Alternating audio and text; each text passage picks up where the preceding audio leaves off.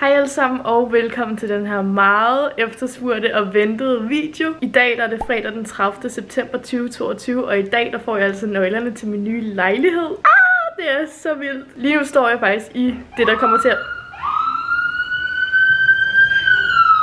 Lige nu der står jeg jo faktisk i det, som kommer til at være min gamle lejlighed. Men klokken den er halv et, og min mor og jeg, vi skal hen i min nye lejlighed her. Jeg skal nemlig overtage lejligheden og få nøglerne her klokken et. Jeg har glædet mig så meget til den her dag. Det bliver så vildt, og det er et nyt kapitel, der starter. Så det her, det kommer egentlig bare til at være en flyttevlog, hvor jeg filmer hele den kommende uge. Så ser I altså alt, hvad der sker den her uge. Og jeg synes egentlig bare, at vi skal hoppe mod min nye lejlighed, så vi kan overtage nøglerne. Yeah!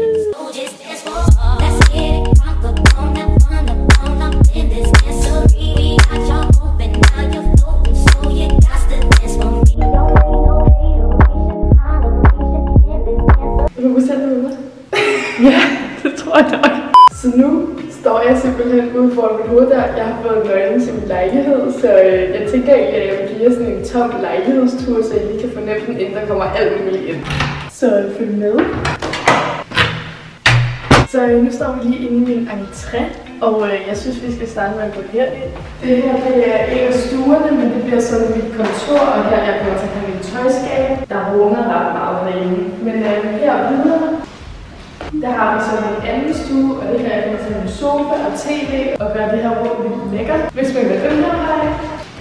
Så har vi min spisestue, det her kommer til at have mit spisebord, og det bliver lidt lækkert. Man kan også gå den her vej, og øh, så går man ind til mit kommende soveværelse. Og det her er kommer til at have min seng og mit makeup bord og sådan noget. Og så kan vi gå her, hvor der er sådan en gang.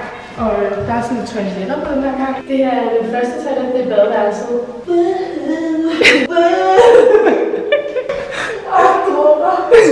Det er vildt flot, når jeg kommer ind. Kameramanden. Ja, jeg kan min mor til at gå rundt. Det var det første toilet, så nu kommer vi til gæstetoilettet. Ja. Sengen.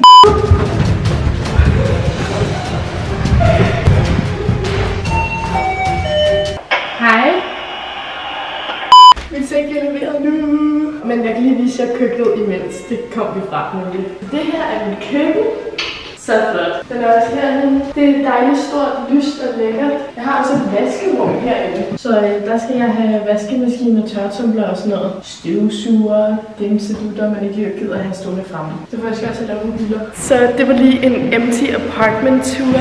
Jeg glæder mig helt vildt meget til de her dage. Det bliver så nice. Nu har fragtmændene altså lige været her, og de har fået den her seng op, og nu skal min mor og jeg, vi skal samle den, så det bliver fedt. Sengen den er for bedre netter, og jeg har været så heldig at modtage den i gave. Det er den seng, der hedder Mollys. Men øh, jeg vil egentlig bare vise, at vi ligesom lige får det stablet på benene, det her. Og klokken er nu Nå ja, 14.48. Vi skal se, hvor lang tid vi er om det. og øh, let's go i gang. Fredo i nu. Ej, mor,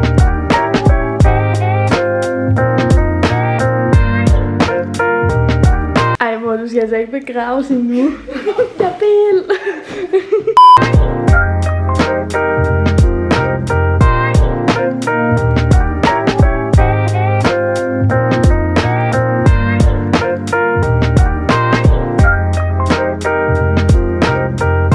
Hey guys, det er lige Louise fra fremtiden her, men jeg hopper altså lige ind i den her video, og det er fordi, I har lige set mig samle min nye seng. By the way, den er så fed. Jeg har nemlig også modtaget noget sengelagen, sengebetræk og så videre fra Bedre Netter, så det vil jeg simpelthen lige unboxe. By the way, min seng, det er den, der hedder Molly seng, det har jeg nævnt. Jeg har den i 180 x 200 Kæmpe seng, når man er vant til sådan en lille halvandemands seng. Den er så rar. Man kan få madras i medium og hard. Jeg har valgt den i en medium, og den er meget til den bløde side. Men jeg kan rigtig godt i bløde senge, så føler jeg sådan, at man virkelig sådan falder ned i dem og sådan slapper virkelig godt af. Uh! Ej, flot farve. Så jeg har fået sådan noget beige sengebetræk. Jeg har også en ekstra pakke her. Så helt nyt sengebetræk og et helt nyt lagen. Jeg vil lige prøve at putte det på, og så kan jeg også lige se min seng, sådan hvordan den ser ud nu. Det fik jeg nemlig ikke helt filmet på farten, der skete rigtig meget de dage. Så vi ses lige om to sekunder. Wow. Så I kan se sengen her. Den er seriøst så flot. Den her sengegavl, den kører jo hele vejen rundt. Det ser så pænt ud. Det er virkelig min drømmeseng, og den er seriøst så stor og blød. Ah. Man kan seriøst lægge tre mennesker i den. Man kan i hvert fald godt lægge to mennesker og fylde helt vildt. Og det er faktisk sådan, at bedre netter, de også har sådan 100 dages tilfredshedsgaranti. Det vil sige, hvis du har sovet i din uh, seng i 100 dage, man tænker, ah, madrassen skal lige være lidt hårdere eller et eller andet, så får du faktisk bare sendt en ny madras. Man kan også tilpasse madrassen, så hvis nu du for eksempel har en kæreste, du bor med, så kan den ene side være hård, og den anden kan være medium, hvis det er sådan, I begge to kan lide det. Jeg er i hvert fald så glad for den her seng. Den skal følge mig resten af livet. Og det her sænkebetræk, det er bare så blødt. Også lagen indenunder, men lad os fortsætte vloggen. Det er i dag lørdag den 1. oktober 2022. Jeg ligner noget af løgn. Jeg var i byen i går, og det var mega fedt. Vi var ude at fejre. Det var bare øh, så nice. Det var en virkelig god aften. Og jeg sov faktisk i min nye lejlighed, fordi at det er det eneste sted, jeg har en seng. Men jeg tænkte lige, at øh, jeg vil lave en status på, hvordan det ser ud her i hytten. Jeg er henne i, hvad der nu hedder, min gamle lejlighed. Så her får I lige status. By the way, det er min mor, der næsten har lavet det hele, så det er sødt. så alle de her flyttekasser, de er blevet fyldt. Jeg har hængt billeder ned, og øh, ja, der står lige et spejl her også. Det her, det er nogle ting, vi skal have hen i den nye lejlighed her, sådan hurtigst muligt. Det er sådan der noget rengøring og noget tøj tøj og sådan, ja, sådan noget der. Det, der ligger her, det er egentlig bare ting, der skal smides ud. Så har min mor været ved at tømme, eller hun er i gang med at tømme hele mit køkken, og hun har også gjort det rent. Du ser ikke så rent ud. Hvad skulle jeg gøre uden dig?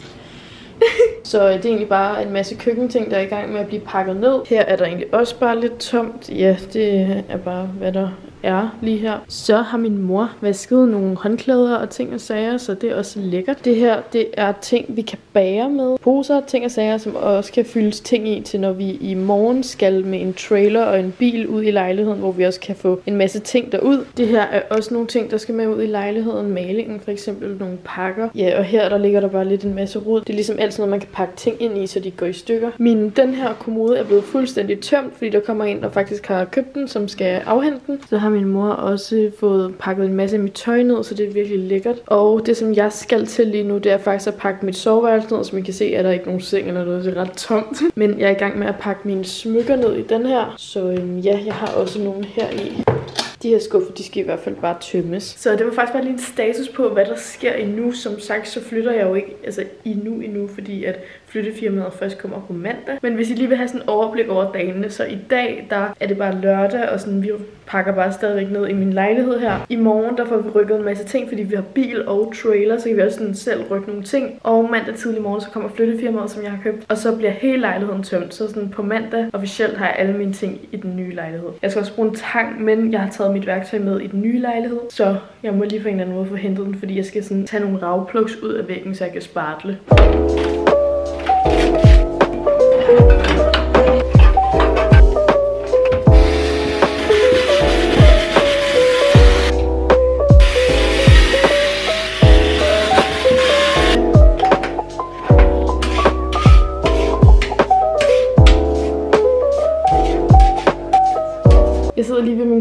fordi at jeg skal se, om jeg kan få rykket mit wifi. Det er nemlig sådan, at når man flytter, så skal man bare også rykke wifi's adresse. Jeg har skiftet adresse på borger, så officielt fra i dag, 1. oktober, der har jeg lejlighed i en anden adresse. Uh, uh, uh. Mit fast speed.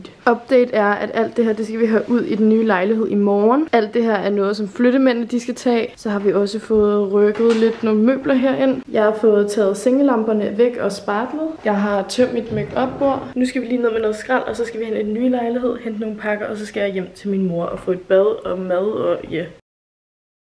Så i dag der er det søndag den 2. oktober, og øh, i dag der er vi stået tidligt op. Klokken den er snart halv 8, og det er fordi vi skal rykke nogle ting fra min lejlighed til min nye lejlighed. Det er sådan lidt underligt, jeg har ikke rigtig nogen sted at være. Jeg har faktisk to lejligheder lige nu, men i den ene er der kun en seng, og den anden er alle mine ting, men de er alligevel pakket ned. Vi har lavet en trailer i dag, sådan så vi kan få transporteret en masse ting. Det synes jeg er meget godt, så kan jeg spare lidt sådan tid og penge måske på flyttefirmaet i morgen. Jeg betaler dem nemlig 1.300 kroner i timen, tror jeg. Så øh, det er egentlig, hvad der sker lige nu, og jeg er faktisk mega træt. Vi så et afsnit af den der Jeffrey Dahmer Netflix øh, et eller andet i går, og wow, den er godt nok uhyggelig. mod Købmagergade. Vi skal hen og hente den der trailer, som vi skal transportere mine ting i. Nu har vi fået hentet den her trailer, så den er blevet sat på. Jeg kan jo egentlig godt vise, hvor jeg boede, fordi jeg kommer ikke til at bo der længere. Så det er jo ligegyldigt. Det her Det var min opgang. Midt på strået, du. Det her var simpelthen min gade. Det var sindssygt fedt. Ilum ligger også lige der. Det er totalt centralt, det her. Men det var sgu to fede år af mit liv at bo herinde som ung, mellem jeg var 18 og 20. Så nu skal vi egentlig bare op og bære ned. Mine forældre er vist allerede kommet. Jeg vil sige, de har allerede været i gang her. Så hej mor.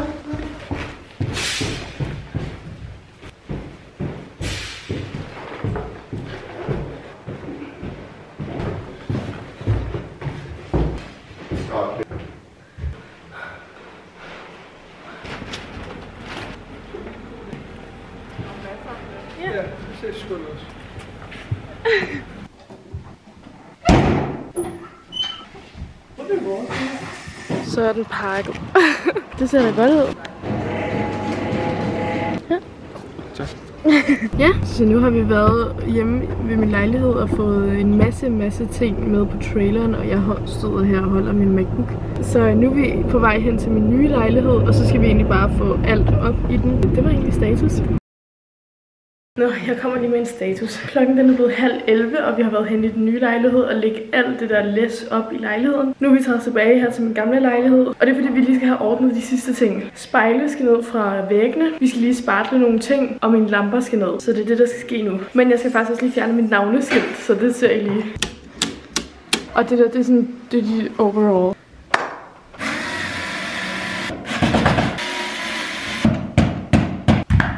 What? Godt. Hvorfor gider den ikke ud af? Altså, jeg har taget skruerne ud. Det er godt nok besønderligt. Man behøver ikke engang skruer. Så. Klokken den er præcis halv to, og øh, vi har simpelthen været lidt sådan rundt forskelligt. Øh, hvad har vi overhovedet lavet?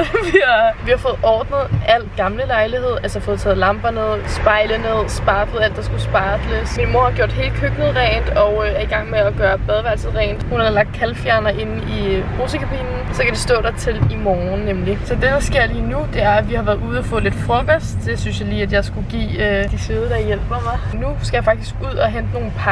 Jeg har nemlig bestilt og købt en masse ting fra Ellers, så det skal jeg simpelthen lige ud og hente. Der var en lidt større pakke, der blev afleveret ude i Brøndby, så der er vi på vej hen nu, og så ellers skal vi hente noget i Føtex.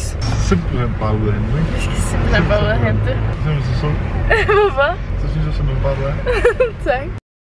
Nå, jeg fandt lige ud af, at det var kun mandag til fredag, de har åbent, og i dag er det altså søndag. Klokken den er lidt over 5, og vi er på vej ned for at handle ind. Så jeg skal handle ind i min nye Netto. Sødt. Så øh, det bliver rart lige at få noget mad. Jeg er så sulten, det er helt sindssygt. Nu har vi været ude at handle, og vi har fået handlet sådan lidt øh, ind til det hele. Men vi har fået handlet ind til aftensmad i dag. Det står på pizzabrød, fordi vi har kan ikke rigtig tilberede noget andet. Vi har hverken pander eller noget som helst. Så nu tager vi sådan nogle kyllinger ned her i de her. Og så tager vi dem i brødresteren, og så har vi købt noget dressing og noget salat og sådan noget. Dagens aftensmad. Så i dag der er det mandag den 3. oktober, og i dag er det den store flyttedag. Det ser helt underligt ud her. Klokken den er lidt i syv. Jeg vågnede søs kvart i 6. Og vi er på vej hen i den gamle lejlighed nu, fordi at flyttemændene de kommer her klokken 7. Og min mor, hun er også derhen, og wow, altså jeg ved ikke, jeg føler sig, at jeg får sovet de her dage. Der sker så meget. Det er jo i dag, alle mine ting bliver rykket. Det er simpelthen for life. Så har jeg ikke tænkt to steder, så kan jeg måske begynde at finde ting igen. Nu er jeg kommet op i lejligheden, klokken den er lidt over syv, men øh, hverken min mor eller flyttefolkene er kommet endnu. Jeg tror, de kommer til at parkere lige dernede. Klokken den er faktisk blevet 8, men flyttemændene er ikke kommet endnu, fordi de er sådan en halvanden time forsinket -agtigt. I hvert fald, jeg står lige her i mit tomme køkken og skal til at vaske noget gulv. Jeg har støvsuget i hele lejligheden. Min mor, hun rengør lige badeværelset. Min papfar, han går ned med ting, og nu skal jeg lige vaske gulvet der, hvor jeg lige kan. Herinde i køkkenet er der nemlig ikke mere, så øh, det er der, vi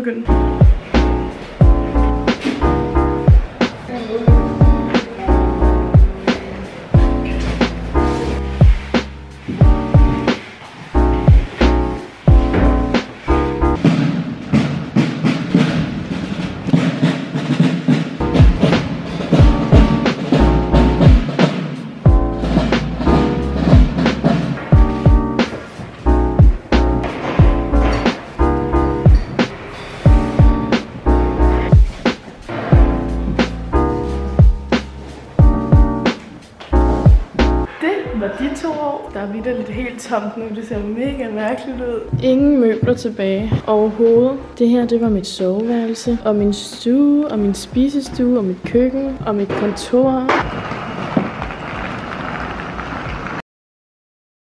Vi er kommet op i min nye lejlighed nu, og øh, der er virkelig i gang med at blive båret op her. Der er en masse af mine møbler og flyttekasser, som er blevet båret op. Altså måden, jeg også skal male.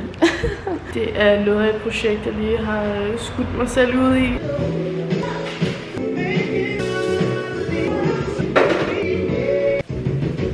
Status er, at klokken er 1. Vi tuller egentlig bare lidt rundt her i lejligheden og får sådan ordnet nogle ting. Det, som vi har prioriteret rigtig meget, det er at få styr på køkkenet. Så vi har faktisk pakket hele køkkenet ned. Jeg vil lige vise jer det. Vi lagde simpelthen alle tingene ud på det her flapbord. Og så har vi egentlig bare fået pakket ud i sådan lidt i alle skuffer. Jeg har i hvert fald fået lagt sådan nogle ting ned i her. Vi har nogle pander, nogle gryder, mine tallerkener. Vi har taget glas, køkkenmaskiner, alt muligt forskelligt. Og det, som der skal ske nu, er, at vi lige skal putte mit spisebord. Det, det er ikke det tæppe. det, som vi skal gøre nu, det er, at vi skal putte mit spisebord sådan på plads. Og som I kan se, så matcher det mit gulv. Benene er skruet af, så dem skal vi have på. Vi skal lige have gulvsættet på, og så kan vi stille min stol rundt om.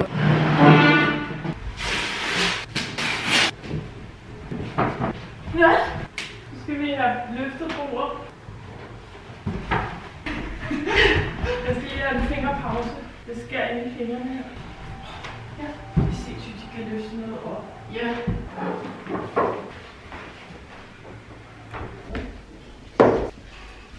Vi vlogger. Slet ikke finde ud af det. Skud i køkkenet og stjæle alt maden nu. Det var en fejlet mission. Fuldstændig ubrugeligt. Der var ikke alt det gode. Dit køleskab har mangler. Hvad har du at sige til dit køleskab? Hvad er der med det? Der var ikke meget. Nej. Der er en plante. Der kommer ting herhen. Skal der males og sådan noget. Så er der meget ubehagelige stole at sidde i. Jeg ved ikke, hvordan du gør det her. Jeg kan slet ikke finde ud af YouTube. Der er en baggård. Vi skal se baggården. Shit. Det ligner bare sted for.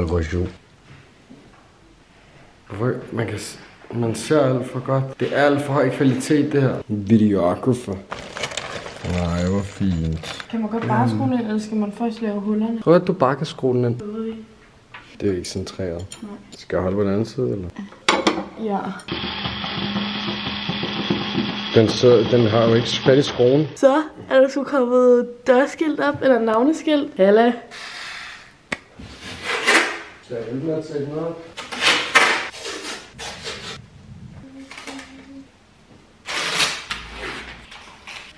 den hente. Så pas på, at det ikke falder ned, ikke? Det var meget sjovt at se, men det er helt godt, jo.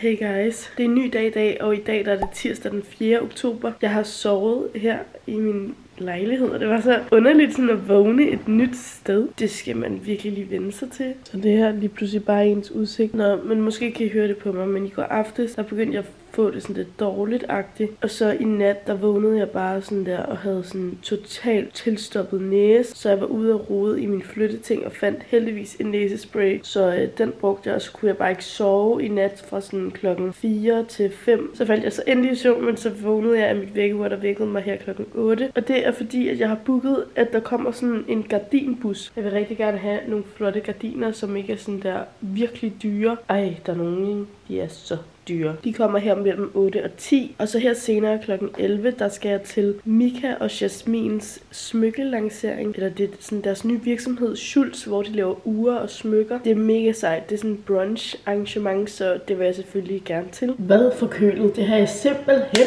ikke tid til. Det var også meningen, at jeg skulle se håndbold i dag, men det har jeg været nødt til bare lige at aflyse. Men jeg var der heller ikke hele sidste uge. De der gardinbus, de ringede lige, og øh, de har om en halv time cirka. Så skal de have noget mormad. Hvor er det irriterende, mand. Så må jeg tage til håndbold på torsdag, og det skal jeg. Klokken den er lidt i 11, og ham gardinmanden han har været her. Jeg har lige fået gjort mig klar. Jeg fandt sådan lidt makeup. Jeg ved som sagt ikke, hvor nogen af mine ting er. Mit hjem det ser vidt lidt sådan her ud. Der er ikke styr på en skid. det eneste, som jeg lige sådan har, det er en eller anden kuffert med random ting og min håndtaske. Men jeg fandt dog en lille smule makeup, som bare lige kunne sådan friske mig lidt op. Så nu vil jeg faktisk øh, tage mod det der event. Jeg skal til Jasmine og Mikas lanceringsevent, og det bliver lækkert, for der er også brunch og sådan noget. Jeg er lidt sulten. Så jeg vil egentlig bare hoppe ud af døren. Velkommen til, og tusind tak, fordi I vil komme her i dag.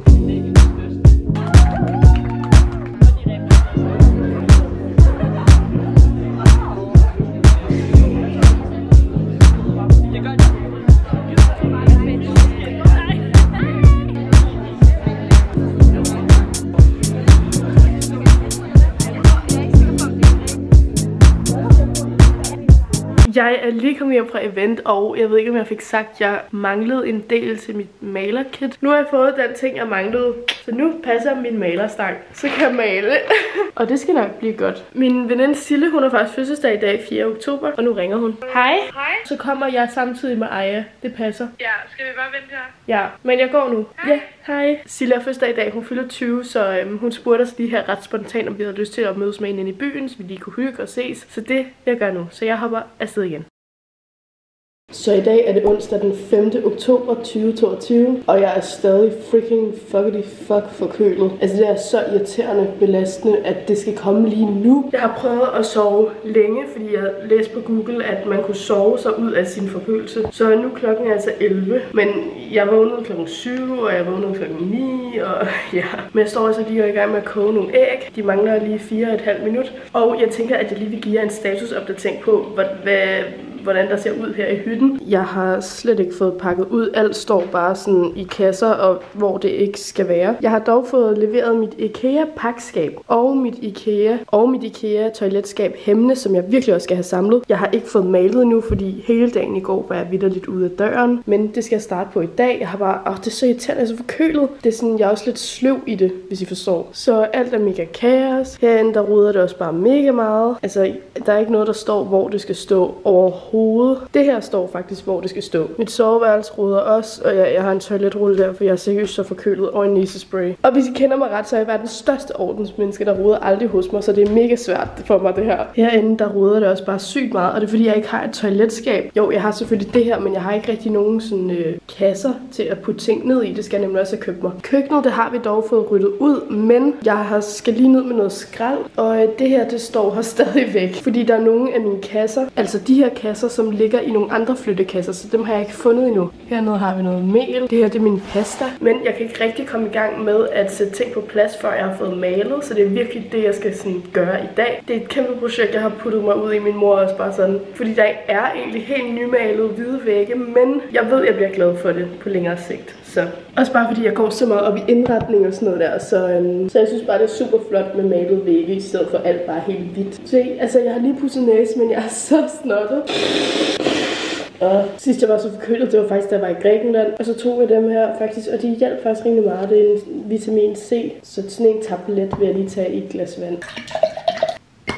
Nå, Ilva ringede lige, og min pakke fra Ilva kommer nu. Den er desværre ikke bestilt med opbæring, hvilket er irriterende. Men det koster bare så meget. Det koster seriøst sådan der 400 kroner-agtigt bare for opbæring. Sådan, åh. Og det kostede 0 kroner med levering til kantsten. Det er altså virkelig svært at bruge alene, når man skal alt muligt, fordi altså, man er virkelig afhængig af, at andre kan hjælpe. Og jeg vil få den der op alene. Det er vidderligt et bord. Men øh, jeg må lige hoppe ned og tage imod. Status er, at jeg har fået min ordre fra Ilva. Den står nede i opgangen, for jeg kan ikke bære den op, så nu må jeg lige vente til, der kommer en, der kan hjælpe mig. Og så skal jeg altså også til at samle mit øh, toiletskab. Altså, jeg har bare fået en masse af de her IKEA pakker. Jeg tror, de store der, det er i hvert fald til mit skab, og måske også de her, men jeg tror måske den og den her, det er toiletskabet. Fordi at mit toilet, det sejler med produkter. Jeg vil bare gerne have et sted, jeg kunne putte det ind, så det var jeg faktisk virkelig gerne prioritere. Så det kan jeg lige få gjort her. Jeg tænker også, at toiletskab, det kan man godt samle selv. Ej, jeg bliver så forpustet og sådan alting. Det er så irriterende, fordi jeg er syg. Men nu prøver jeg. Nu har jeg samlet skabet sådan her. Resten af delene ligger lige her på bordet, og det skal simpelthen op og stå herude. Jeg kan heller ikke finde min hårelastikker, så jeg har seriøst taget mit hår op med sådan en køkken eller elastik. Sagen er den lige nu, at jeg endelig kan begynde at male, fordi at nu skal den væg males, hvor min tøjskab skal op og stå. Og når jeg ligesom har fået min tøjskab op at stå, så kan jeg begynde at tage mit tøj derind. Og det bliver bare virkelig rart, fordi næsten alle de der flyttekasser er vidt lidt med tøj. Og det er den her maling, jeg skal bruge. Det er den, hvor der står kontor på. Ah, den er mega tung.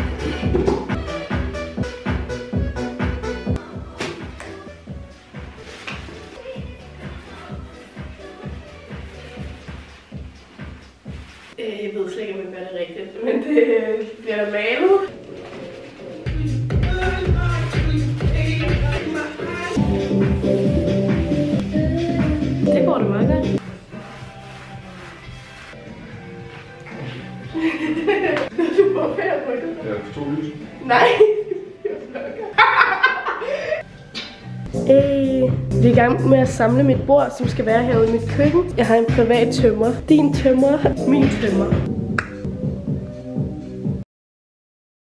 Så i dag er det torsdag den 6. oktober. Jeg er stadig syg. Det er en slem forkølelse. Jeg var i hvert fald ude og gå en tur her på Vesterbro. Og jeg bestilte en pizza. Det var med sådan noget kartoffel og kylling. Jeg tror også, at jeg bliver sådan der mere syg af, at jeg sådan presser mig selv og går op, mens jeg ikke er rask. Og maler, mens jeg er svimmel og alt sådan noget der. Så nu har jeg sagt til mig selv, at jeg godt lige må ligge i min seng og sådan få den kørt ud. Fordi jeg skal så mange vigtige ting her i morgen og i weekenden og i næste uge. Så der skal jeg bare være rask.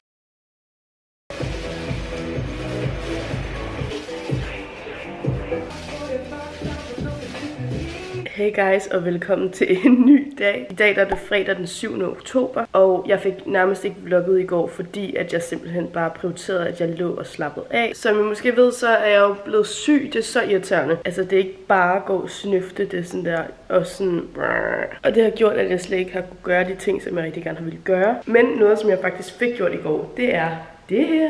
Jeg kan lige vise jer det. Jeg fik malet andet lag her på min vægge. Wow, det tog lang tid. Men nu er jeg faktisk helt i tvivl om det er den farve, jeg vil have. Jeg ønskede faktisk sådan en meget lysere grå, og jeg føler, at når den her er kommet ud på væggen, så ser den bare meget mørkere ud. Det skal ikke være sådan, at man tænker, okay, du har en grå væg. Det skal mere bare være sådan en lille ting, som man næsten ikke lægger mærke til, men den er der, og den gør noget flot, sådan, så alt ikke bare sådan er kridhvidt. Men det her, det synes jeg bare blev lidt for mørkt, og faktisk så synes jeg faktisk, den blev alt for mørk, for det var slet ikke meningen, meningen, at der skal være så meget kontrast til det hvide. Og det er så nederen. Jeg har aldrig prøvet at skulle ud og købe maling og sådan noget med farveprøver og sådan noget der. Men jeg har fundet ud af, at man altid skal tage en lysere farveprøve, end den man tror. Fordi når det kommer op på et større areal, så ser det bare automatisk mørkere ud. Og det er jeg så bange for, at mine andre farver i de forskellige rum nu også er kommet til. Så jeg tænker faktisk, at jeg vil prøve at male det op på væggen. Jeg kan bare lige prøve at male det her. Fordi jeg tror måske, at jeg er ude i, at jeg skal omkøbe en grå farve. Og så må jeg også lige se, om jeg skal omkøbe nogle af de andre farver. Det var virkelig nederen, fordi det har været så dyrt. Men jeg ved også bare gerne, at jeg gerne vil være sådan tilfreds, og jeg har seriøst drømt om den her malerfarve hele natten. Jeg har seriøst gået og drømt, at den sådan der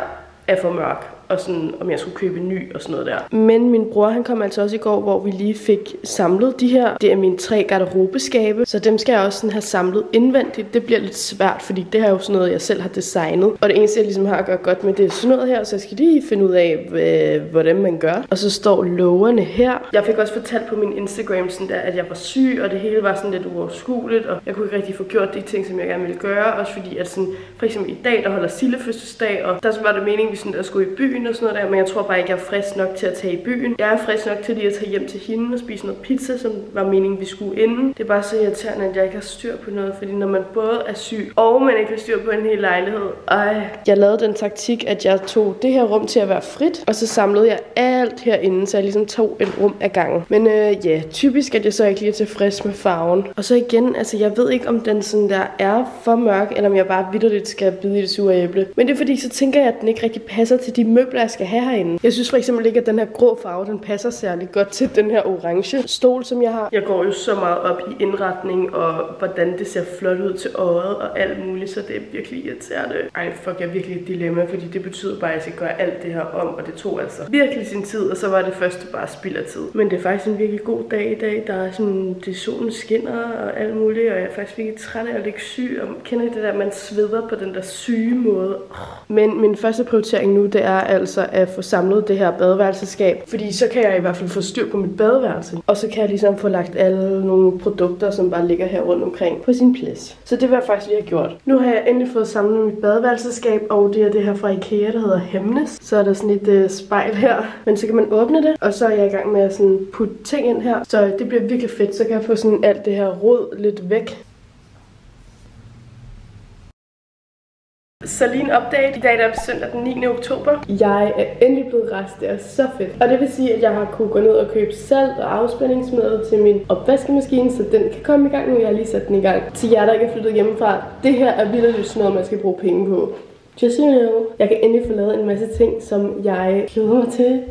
Jeg har også lige været ude og handle ind, og nu vil jeg lige lave et lille indkøbshaul. Jeg har købt intimsæbe, som jeg har puttet ud på badeværelset. Det er vigtigt at bruge intimsæbe. Jeg har købt noget frisk persille, chokolade, dansk mad, frisk dansk madlavningsfløde. Noget tomatpuré, krabbesalat, nogle fuldkorns, rugbrødsboller, noget rugbrød, parmesan. Og ja, jeg ved godt, man bliver mobbet af at købe altså den ægte parmesan, men købe en, der allerede er revet. Men det var så dyrt, og jeg kunne seriøst spare over 10 kroner ved at gøre det her. Så det, ja, smør. Og hvad sker der for? Smør koster nærmest 30 kroner. Yes, så jeg kan få noget at spise, og jeg kan lave en lækker frokost eller aftensmad, som kommer til at være den der vodka pasta Gigi Hadid. Mm, luksus. Jeg kan allerede fornemme, at den her vlog den er blevet ekstremt lang. Jeg har altså filmet over to timers raw material. Og med det sagt, så vil jeg egentlig bare sige tusind tak, fordi I så med. Hvis I har set hele vejen hertil, så gå ned og skriv Rittersport. Den her, den smager seriøst så godt, den med nougat. Så ved jeg, at du har set hele vejen hertil, og så vil jeg selvfølgelig like-reacte din kommentar. Derudover så er jeg ikke så meget andet at sige, end uh, glæder jeg til næste mandags video. Og øh, så må I have en god uge indtil da. Hej hej!